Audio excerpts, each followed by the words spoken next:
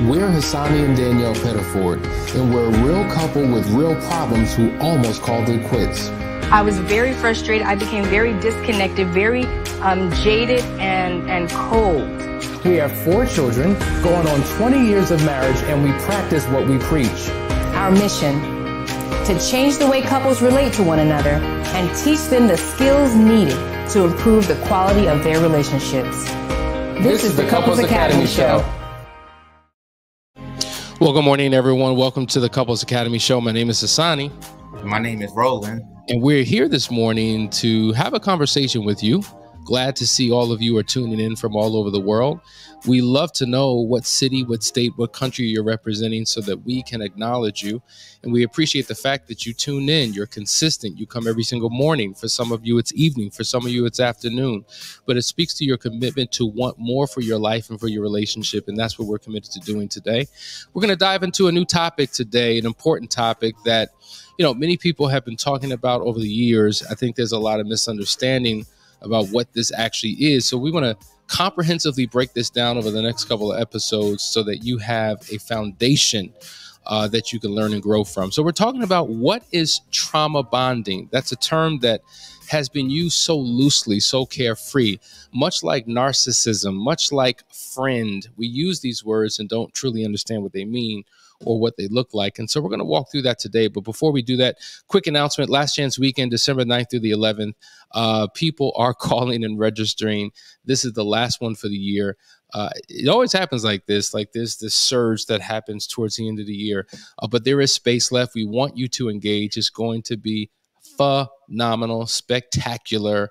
Uh, so if you've never heard of it, maybe if you've heard us talk about it, uh, to to like daily it's because it's the, the the major the major thing that we engage in that has the most impact for couples.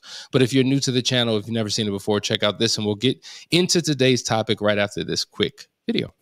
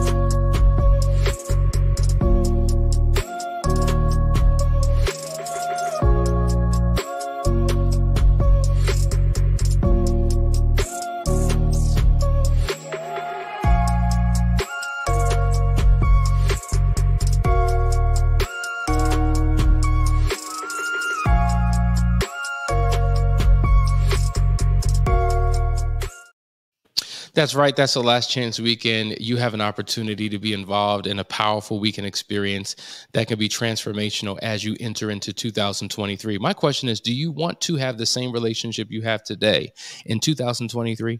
Do you want to sign up for more of the same in the year to come, or do you want something different? It's a new year. It could be a new you, it could be a new marriage, and you have to be responsible for making that happen. Nothing's going to happen on December 31st at 11:59 p.m. and as the clock strikes 12, you're not going to go through a metamorphosis and a transformation just because it's a new year. You have to be intentional, you have to be willing, you have to do the necessary work and you can bring about a change and a transformation and that's what the last chance weekend is about. So make sure you click on the link in the description. You register today. Good morning Cali Power couple from California, Stephanie N, Ty Ty, Darnell, Tiffany, Camille, uh, Facebook user Daisy from Kenya. I love it. I love it. We're all over the country. We're in Virginia, South Carolina, uh, Australia. I love it. The community is growing and growing and growing. So let's dive into today's topic. We're talking about trauma bonding. Now, let's just keep it real. Okay. So, trauma bonding, I think there's a misunderstanding. Many people have the idea that trauma bonding means two people who come from trauma possibly similar trauma because I've heard this explained through couples before. You know, my dad died when I was 12 years old, and you know, I met Susie, and you know, her mom died when she was 18 years old, and we both suffered this loss. So we have a shared common experience and we've come together to support each other in that process. And so they've defined that as trauma bonding. We're bonding around our trauma.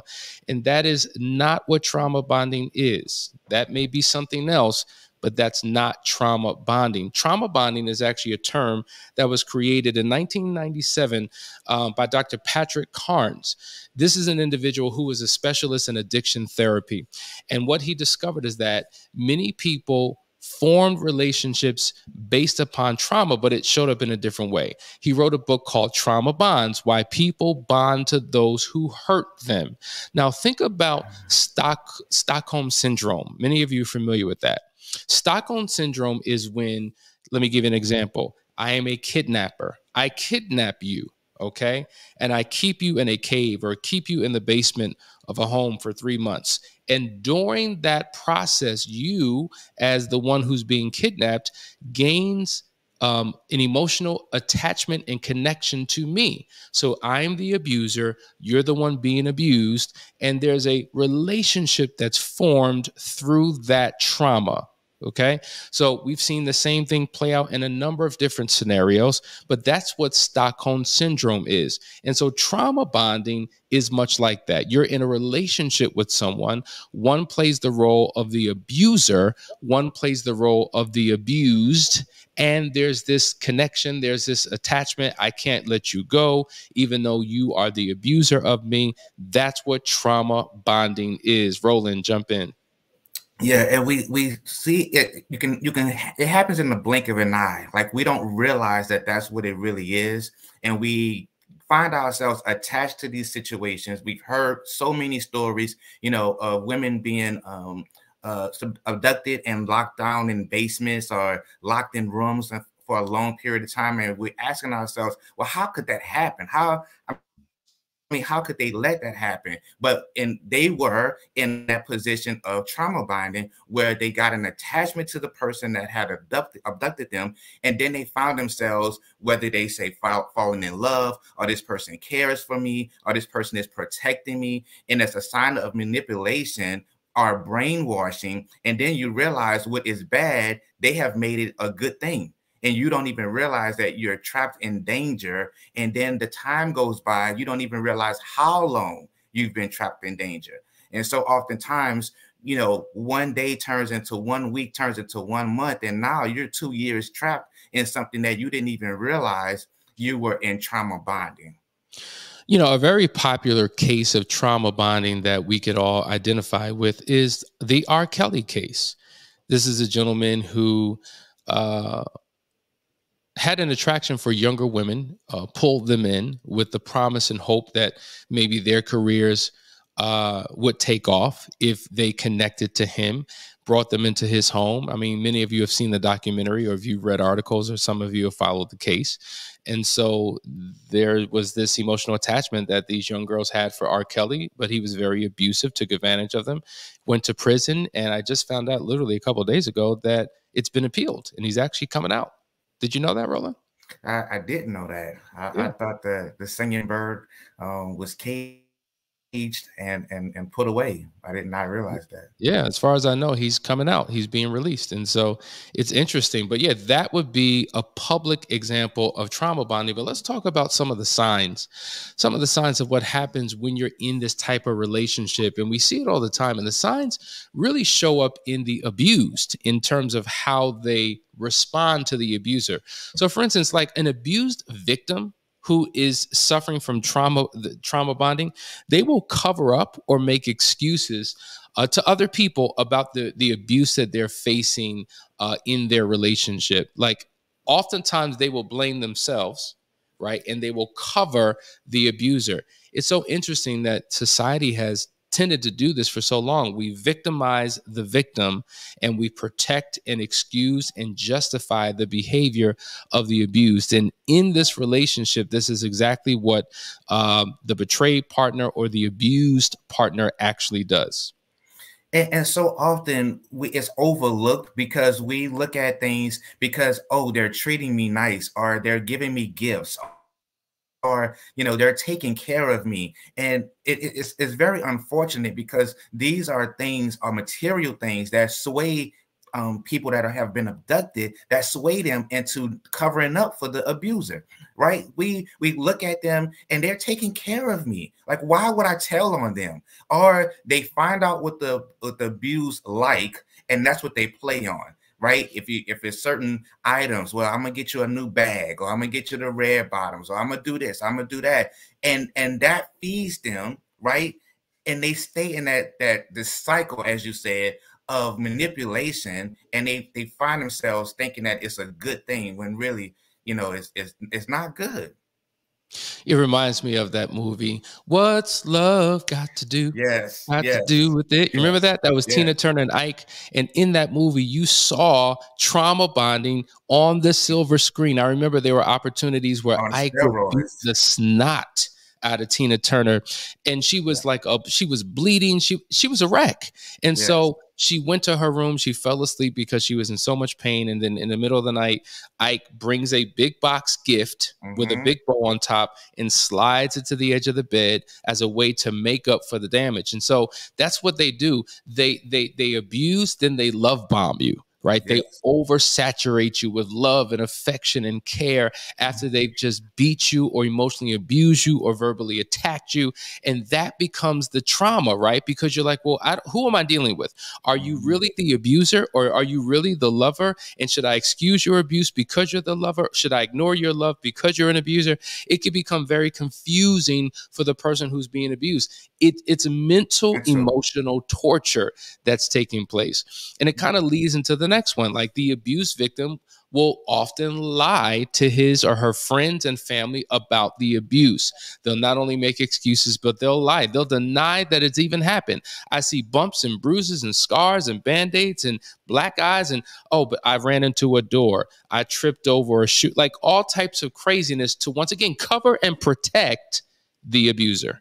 Listen, the question was asked, what does love have to do with it? Everything. Love does not hurt. Love does not abuse. Love does not make you lie to other people about what you're going through. Love does not do those things. And what happens is, so oftentimes we find ourselves lying because we don't want our friends and family to look at him or look at her differently right so we we put this on we put this facade on we protect we cover up everything that's going on we don't show up to family functions right and uh, we we we show up alone and then we're trying to figure out, well, where's so and so and where's so and oh, oh, he had to work. Oh, she's not feeling well. Just lying and protecting the fact that you're being abused, you're covering up, and that is not love. Love will not put you in that position to put your back up against a wall and make you feel some kind of way. So powerful, it, powerful. You have, to, you have to move away from that. Powerful point. A um, A says uh, my spouse does this now because of the affair. He never used to do this before. This is why I don't believe that he's a changed man. Well, let me tell you, change takes place through a process, through a methodology. And so, you know what? For somebody to be exposed, for an affair to come out, and then to say, I'm sorry, and let's just move on, but there has been no recovery process, then change is not going to happen but the inevitability of change takes place through a process. So, listen, guys, you're watching the Couples Academy show. We're talking about trauma bonding. We're just getting started. I hope that you're enjoying this conversation. We love the fact that you're weighing in. There's more to come. Stay right there. Be right back.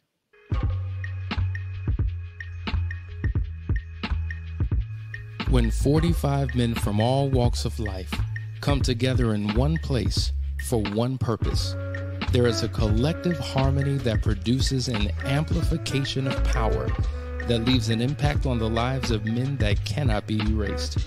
A fraternity of legendary men, all at the tipping point, on the precipice of greatness, meeting for one weekend to turn their worlds inside out.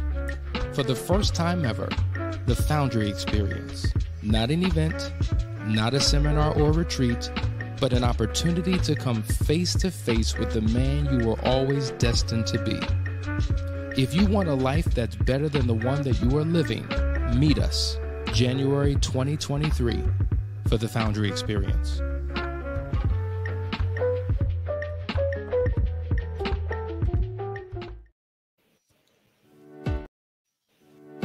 Welcome to the Couples Academy app. The Couples Academy app is your go to hub for how to do marriage right. Get started with our app today by perusing our amazing features that conveniently allow you to connect. This app is packed with powerful content and resources to help you grow and stay connected.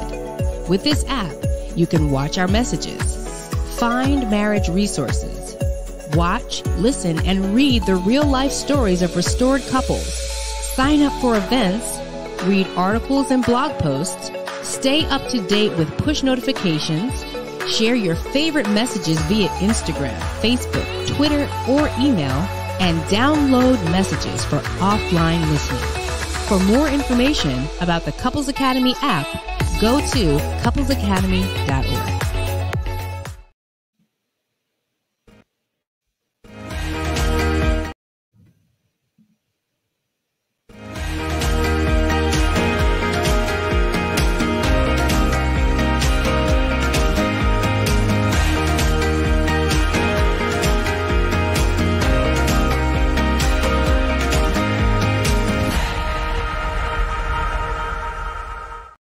Hey guys, we're back. You're watching the Couples Academy show. We're talking about what is trauma bonding. The chats are blowing up. We're just going to go to some of these comments and then we'll get back into our points. Um, Denise says, when the behavior is covert, it's not always easy to tell that you are being emotionally abused or manipulated. And that's true. Like, it's almost like it's so subtle it's so like clandestine like is that abuse? Is that not? I'm feeling some type of way. Is it me? Is it you? Like and then it's so covert that maybe it's not as noticeable to other people. So then when you talk about it like uh, something wrong with you? Are you crazy? Because i don't see it. it because it's done in such a subtle way. And so some people are just that clever and just that good or some people are completely oblivious to their bad behavior and they're they're engaged in trauma bonding and aren't even aware of it because they've never heard the term before. It's almost like an emotional emotional affair. When somebody is emotionally connected to someone else, they think they're not doing anything wrong because there's no physical interaction, but it's just as damaging. So I think out of ignorance, some people can engage in this, but also out of full awareness and intentionality, some people know exactly what they're doing. It, and unfortunately, real talk is calculated. Most times it's calculated because we want it to be subtle. We don't want you to realize that that's what's actually happening because as long as we can keep things afloat, then it looks good. You don't realize what's happening, but all the while we are compartmentalizing, we are minimizing, calculating everything that we're doing, every move that we make. And then you realize later on down the line when a lot of damage has been done that that's what you are in. And unfortunately, um, men and women do this all the time, and we have to recognize it when it's happening and and call it out. If you feel some kind of way, have that hard conversation with your spouse to let them know how you're feeling. Absolutely. Cool the lover says, Can a woman trauma bond with her affair partner? I think that's an excellent, excellent question. Whether a woman or a man, yes a, a, a person can trauma bond with their affair partner. And to be quite honest, this is why so many struggle to get out of it. This is like like and, and this is no justification for someone being in something, but I just want to let you know if you are the betrayed spouse, sometimes it's it's it's quite difficult to understand why it was so difficult for that person to leave. And oftentimes they feel trapped they so there's the love bombing but then there's also the manipulation the control there's the threats that come if you do i will do. So they're constantly under the threat of exposure the threat of of having their lives destroyed, of having things come out, and that keeps them trapped. And so many people think that, oh, all is well on the other side. You're just living it up and having a good time. But there's a lot that that person goes through um, in an affair relationship. So that's a great point. Yes, that is real. Anything you want to say to that, Roland? Yeah, and, and, and that's why it's so important to just stay in your lane because you don't know what you're getting into anytime you step outside of the marriage. There's so much that happens that we don't realize. Like you say, we're living our best lives, or we're covering up. Nobody's gonna know. Nobody's gonna find out. But your best friend has a best friend who has a best friend. And what happens is you get attached to these situations outside of your marriage. You don't know what the outcome is going to be. You don't know what the other person is going to feel. So for you, it was entertainment. For you, you know, it was a, a one night stand or whatever the case may be. But for the other person who you was not aware of, they have fallen in love. They have gotten attached, and now they can't let go. Um, I think it was uh, sleeping with the enemy. I believe when the when the affair partner, you know, she she went to the extreme of torturing the family. You know, mm. she had mm. taken the family pet and, and boiled it in water. I mean, she had gone to the extreme of what was supposed to be this this nice, you know. It, listen, evil looks nice, right? Everything that glitter is not gold. So we have to stay away from trying, testing out to see if you know they're going to protect me. They, they're not going to do that. They're not that bad. And then you realize later on that you find yourself in a situation. Stay away from doing things that you know you have no business doing. Very good point. Tiffany says, when a spouse does this, is the marriage even worth staying? As the betrayed, I don't know if it's worth it. Let me just say that oftentimes the knee jerk reaction is to leave. And at the end of the day, many of you are watching this show right now all of us as practitioners are leading this show right now. We counsel couples, we do all this type of work. Why? Because all of us at some point have done marriage wrong. And we've gone through a process to figure out how to do it right.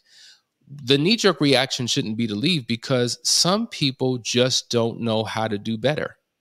Okay, they just don't until they go through a process where they learn how to do better and course corrections are made. And so, if any of you are kind of vacillating back and forth, should I stay? Should I go? My question would be what have you done to try to restore it? Have you gone to counseling? Have you taken a class? Have you done a retreat? Have you read a book? Have you listened to a sermon? Have you watched the show consistently? Have you done anything? If you haven't done anything, then you're not qualified to just leave. I mean, listen, you could do whatever you want to do, but I'm saying there's so many people who have been in this situation. There's so many people who have been betrayed, who have come back and been restored, and the relationships have been better than what they were prior to the discovery of the affair. So there's still hope for you. And so my question is, what are you, what are you and your spouse going to do about the situation you're you're in to change the dynamics of your relationship? Uh, GMB says, Tiffany, good question. Wanting to know the answer to that question myself. So I hope that gave you some clarity. Cali power couple. Some folks don't realize they are the abuser because it was done to them. One would think, having been abused, one wouldn't abuse anyone else. But it, that's a very good point. Many people, as they say, hurt people, hurt people. People. We pass this thing down from generation to generation to generation because that's all that we know. It's not about right or wrong. It's what we've been exposed to and what we're used to. And this is just what it is. Roland.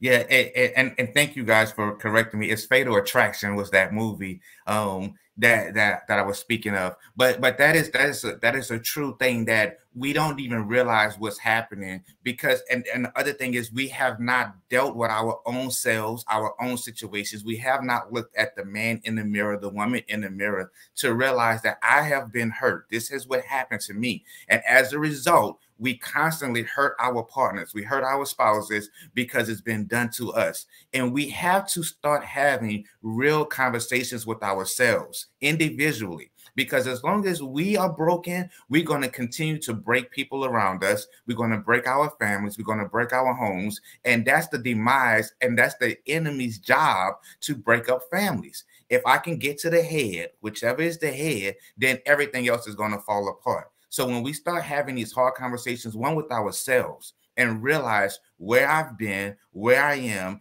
and we have to look at and be honest with where we want to go, then we can start healing. We can start um, closing the circle of some things and breaking generational cycles. I cannot believe that we are out of time. This episode went by so quickly. But what we're going to do, we're going to pick up tomorrow and go into part two of this conversation because we're literally just scratching the surface. Thank you for tuning in. I hope you got something out of it. And let's let's engage tomorrow to further this conversation, to expose what trauma bonding is, and to do whatever we need to do to kick it out of our homes. Listen, guys, this is the Couples Academy show. We love you, we appreciate you, and we will see you in the morning for another great episode. Take care.